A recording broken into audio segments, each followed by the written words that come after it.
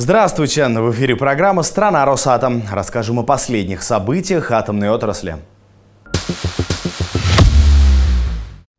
Создаем и внедряем вместе со страной. С такой идеей Росатом представил свои цифровые решения на главном российском событии цифровой индустрии – конференции «ЦИПР», которая прошла на прошлой неделе в Нижнем Новгороде.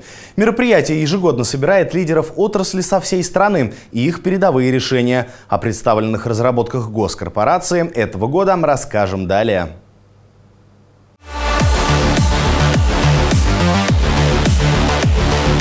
Сотни компаний и тысячи цифровых решений собираются каждый год на форуме ЦИПР.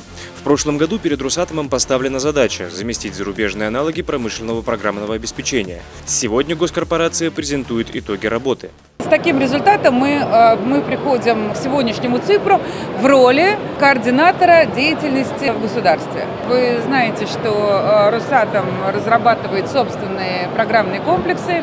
И здесь, конечно, э, главным нашим результатом мы бы обозначили два. Это, во-первых, дальнейшее развитие платформы Logos. Флагманский продукт Росатома – система математического моделирования Logos. Функционал программы позволяет провести расчет любых изделий и систем в виртуальной среде. Это позволяет понять слабые места еще на стадии разработки. Сейчас 120 предприятий из различных отраслей применяют Logos на производстве. Например, с этого года Logos взят на вооружение в Роскосмос для производства российских космических аппаратов. Также Logos используется в тестировании безопасности автомобилей. Сейчас система развивается в консорциуме, в который входят представители 24 предприятий из различных отраслей. Это ускорит процесс разработки. В ближайшие три года разработчики планируют закрыть отечественную потребность в КАЭ-системах на 90%. Мы хотим это все объединить, создать единую среду, которая будет доступна в промышленности в целом и образованию с точки зрения ведения подготовки кадров. И тиражировать это и внутри Российской Федерации в промышленности, и постараться вывести это на международный рынок, чтобы конкурировать с зарубежными аналогами. Система предиктивной аналитики AtomMind – новейшая разработка Росатома. Ее внедрение позволяет сократить издержки на обслуживание оборудования и повысить уровень качества выпускаемой продукции. Благодаря непрерывному мониторингу и анализу поступающих данных, AtomMind позволяет перейти от плановых ремонтов к предиктивному обслуживанию. Система прогнозирует вероятность аномалий еще до того, как они повлияют на ход производства. Благодаря внедрению платформы AtomMind на Чепецком механическом заводе удалось сократить брак в два раза. Сейчас в разработке команды команды проект в сложнейшей из сфер – работе с людьми. Мы хотим построить модель, которая будет предсказывать выгорание сотрудника на основании его цифрового следа, не залезая в контент того, что он делает. Если мы докажем, что мы можем это предсказывать, то для, ну, по сути для HR это будет сигнал о том, чтобы э, мочь начать работать с этим человеком. Еще одна новинка – система управления полным жизненным циклом изделий Сарус. ПО полностью разработано в корпорации, включая главное – ядро программы. Система кроссплатформенна, может работать на всех операционных системах, включая отечественные на основе Linux. Аналогичные зарубежные системы разрабатывались десятками лет. Сарус удалось разработать за три года, и уже в следующем году ПО выходит на российский рынок. Сейчас все в основном работают на продуктах Siemens или Dassault Systems. Э, наш продукт должен их э, заменить. Соответственно, требования к нам очень высокие, и уже проводятся пилотные испытания системы технических заказчиков, также уже идет э, пресейл системы. Возможности Саруса продемонстрировали председателю правительства, распечатали деталь на отечественном 3D-принтере, созданном также в Росатоме. Начнем с принтера. Разработка Росатома. 70% нашего продукта, кое-что китайское, но техника заменим в соответствии с более дешевыми продуктами. А, около 50 уже продано, 30 еще примерно делается. Всего в разработке Русатома более 150 цифровых проектов. Большинство из них призваны не просто заместить зарубежные аналоги, а осуществить промышленный переход к индустрии 4.0.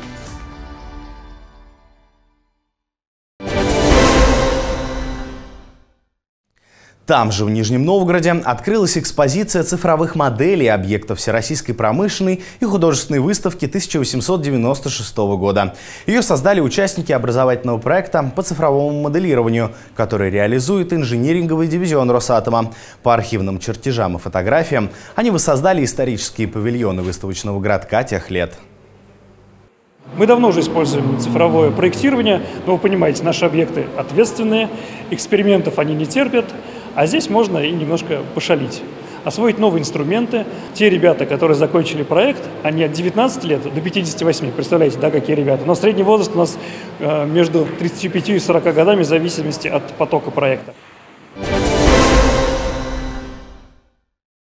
На площадку строительства Курской АЭС-2 доставили два гигантских парогенератора. Напомню, энергоблоки новой атомной станции являются пилотными, сооружаемыми по проекту ВВР ТОИ, и параметры оборудования для них значительно отличаются. Не только повышенной мощностью и улучшенными технико-экономическими показателями, но и габаритами. Общий вес доставленных с Атоммаша парогенераторов 700 тонн. Вот кадры этой зрелищной технологической операции.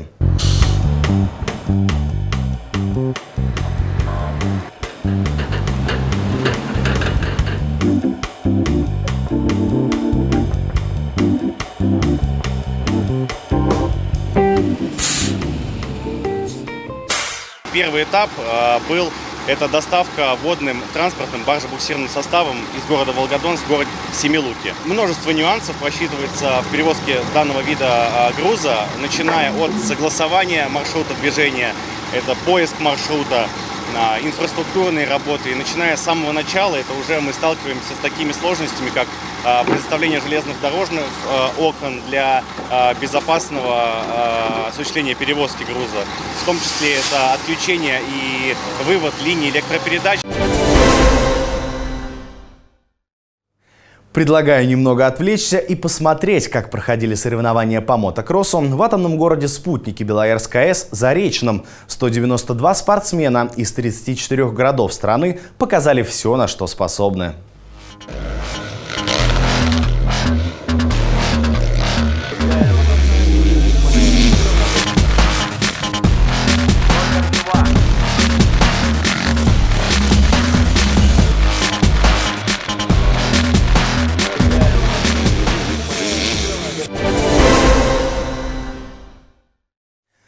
А далее расскажем о других новостях Росатома.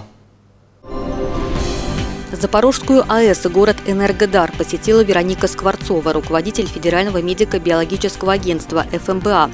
Она осмотрела медико-санитарную часть Энергодара, которая, как и во всех городах, где расположены атомные предприятия, перешла под управление ФМБА России. Если говорить о территории, где агентство является вообще единственным, да, то это 50 9 территорий, плюс Энергодар уже сейчас 60 территории. Главгосэкспертиза одобрила проект строительства двух новых энергоблоков Ленинградской АЭС-2. Это один из ключевых документов, предваряющих строительство второй очереди атомной станции. Напомним, она будет состоять из двух энергоблоков с реактором ВВР-1200 поколения 3+. Лавозерский горно-обогатительный комбинат в Мурманской области передан в состав Росатома. Это предприятие единственное в России, где добывают и обогащают лапаритовую руду, из которой извлекают редкоземельные металлы для дальнейшего использования в российской промышленности. Лавозерский ГОК обладает уникальными компетенциями и осуществляет весь комплекс работ от геолога-разведки до вывода производственных объектов из эксплуатации. В Росатоме выбрали лучших инженеров страны. В главном здании госкорпорации в Москве прошел финал Всероссийского инженерного конкурса. В нем принимали участие студенты технических вузов и молодые сотрудники отрасли. Подробности далее.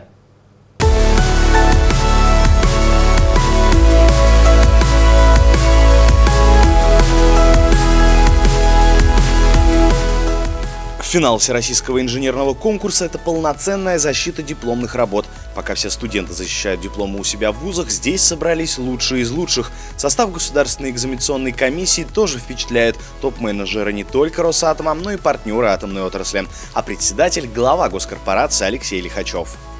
Четверокурсница Томского университета систем управления и радиоэлектроники Дарья Шестерякова заканчивает бакалавриат. Свою учебу она посвятила разработке конструктивных элементов для адаптивного микрозеркала.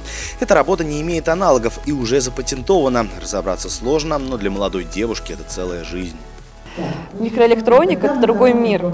Когда ты изготавливаешь микро, ну, там, допустим, полупроводниковый прибор, микросхему, ты посмотришь под микроскопом, неважно под любым, ты увидишь, что там другой мир, там, там другие процессы, там другая физика. Это очень интересно, это красиво.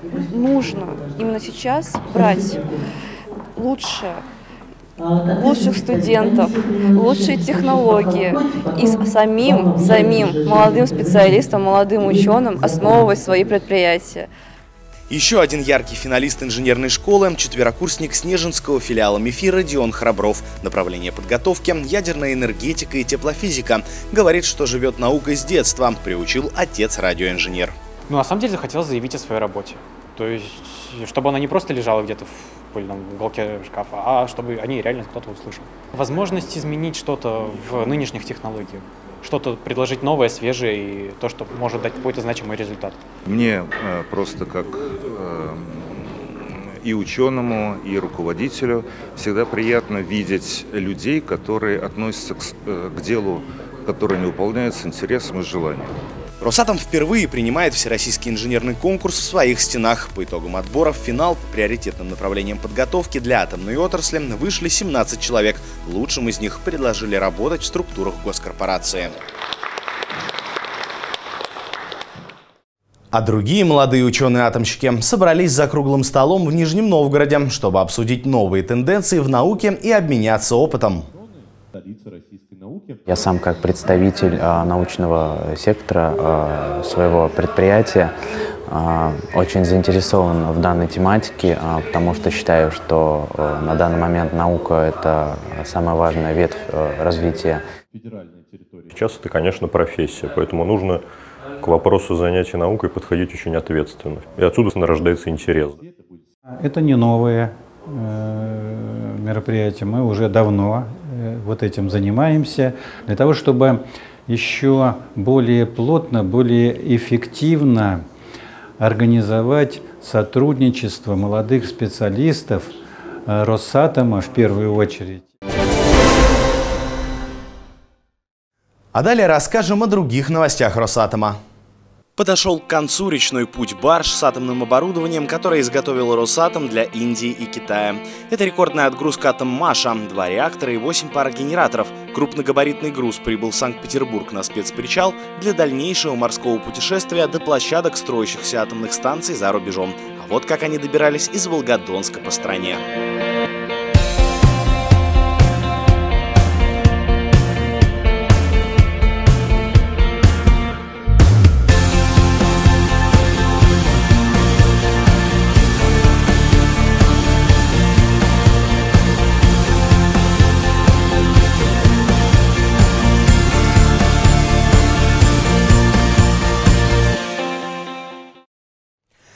Кратком видеообзоре расскажем о последних новостях по зарубежным проектам Росатома. Внутри корпусную шахту установили в корпусе реактора первого энергоблока, строящейся в Бангладеш АЭС Рупур. С этого момента начинается сборка самого реактора. Шахта изготовлена из нержавеющей стали, а днище перфорировано для циркуляции теплоносителя. Это необходимо для охлаждения оболочек тепловыделяющих элементов. А на втором энергоблоке АЭС «Рупур» завершено бетонирование купола внутренней защитной оболочки здания блока. Для максимальной прочности рабочие уложили свыше 400 тонн арматуры и залили почти 3500 кубометров бетона. Внутренняя защитная оболочка будет защищать энергоблок от любых экстремальных воздействий, например, землетрясений или ураганов. Еврокомиссия одобрила поправки к соглашениям по проекту АЭС ПАКШ-2. Изменения в финансовых и технических документах между Россией и Венгрией были согласованы еще в апреле этого года. И вот Евросоюз дал по ним положительное заключение, что позволяет продолжить сооружение двух российских реакторов ВВР-1200 поколения 3+. На втором энергоблоке Белорусская АЭС начался этап опытно-промышленной эксплуатации. Он предусматривает повышение мощности реактора с 50 до 100%. За это время специалисты проведут более 200 различных испытаний всех систем реакторной установки.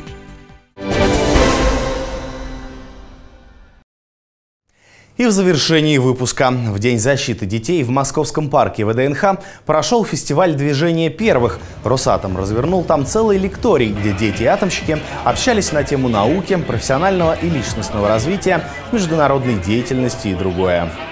И специально ко Дню защиты детей руководители некоторых предприятий Росатома на один день уступили свои рабочие кресла детям. Получилось целое профориентационное реалити-шоу под названием «День дублера». Например, новым руководителем композитного дивизиона вместо Александра Тюнина стал первокурсник Новосибирского государственного университета Дмитрий Киль. С выполнением должностных обязанностей генерального директора молодой человек справился на отлично. Каждый день как генеральный директор я должен проводить собрания.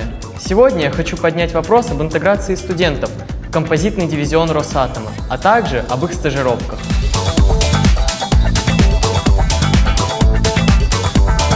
Чем больше погружаешься в отрасль Росатома, тем теплее становится на душе от того, что знаешь, что наша страна развивается, от того, что она не стоит на месте и уходит в лидеры мира по многим компетенциям. Очень надеюсь, что не только подчеркнул много нового о композитах, а еще и попробовал почувствовать себя в роли руководителя и понять, как еще организовывать различные процессы, работу большого количества людей.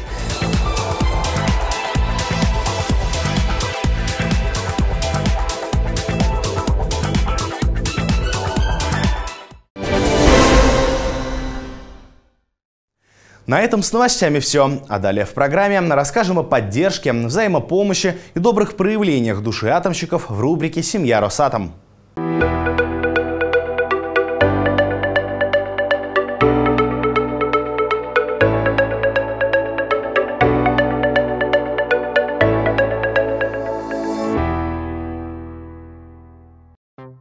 Экология – моя идеология. Под таким девизом живут эти ребята. Сегодня мы познакомимся с экоактивистами Росатома. Стараюсь там своим примером показывать, что важно заботиться о чистоте э, города, нашей страны, нашей планеты, потому что это важно, это нужно, это необходимо. И своим примером важно это показывать.